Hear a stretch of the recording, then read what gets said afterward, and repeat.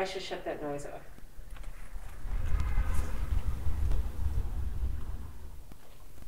I will say that I, my heart is way more open and my love for people is way greater.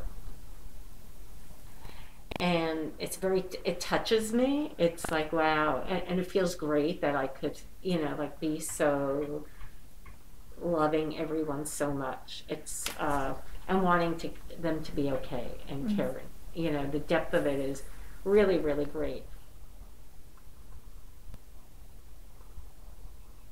My hope is that we could see what was broken and fix it as we rebuild.